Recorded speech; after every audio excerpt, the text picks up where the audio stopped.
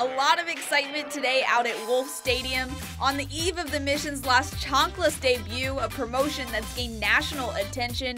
The staff is working hard to make sure everything is in place and that all merchandise is prepared for the sold out crowd. It's been crazy. You know, it's uh, a lot of last minute preparation, uh, mostly on the merchandise side, just trying to get everybody their orders, get the store ready, because we'll probably have another big rush uh, tomorrow with uh, a sellout crowd expected. And uh, you know, waiting for the team to get here. It's going to be exciting to kind of see them in the in the new unis and just see what the atmosphere here at Wolff Stadium is going to be. Back in March, the Missions announced that they would be known as the Flying Chanclas for nine games this season. 33 teams have taken part in what's being called the Fun Cup, but none seem to have gained as much attention as the Las Chanclas. Uh, every time I go out on an appearance or a community event or uh, Chamber of Commerce thing, it's it's I get stopped immediately, and everybody wants to talk about it. And it, it's funny, like uh, we were going through introductions at a like a chamber event the other day, and you know I talk about this stuff, and then everybody else is like, "Well, I'm not as cool as that guy," you know, and they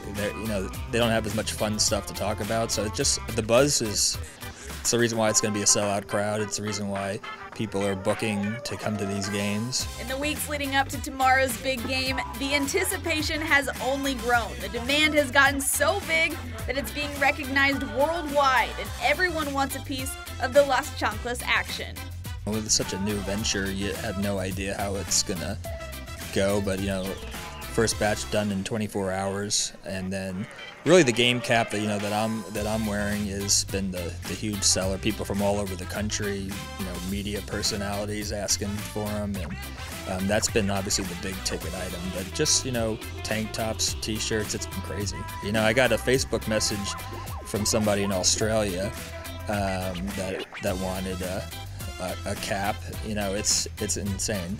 Tomorrow night at the game, the city of San Antonio and baseball fans from across the country will get a warm welcome from the inspiration behind the Flying Chanclas, their newest mascot, Mama Peño. Well, you know, the, the, really the, the behind the chanclas is the the abuelito, the abuelita, I should say, the you know the grandmother mother figure. So we, you know, in order to tie properly into the night, we said we got to have some kind of uh, character uh, that's new, and so obviously Ballapeño is our you know main mascot, and we did a, a variation of that with Mama Peño. So uh, that's been a big hit so far. People uh, have gotten big laughs over that, and I think it'll be fun to see uh, her in action uh, tomorrow night. You're watching Sports2Nite, San Antonio's only nightly 30 minute sportscast with exclusive sports coverage you won't find anywhere else.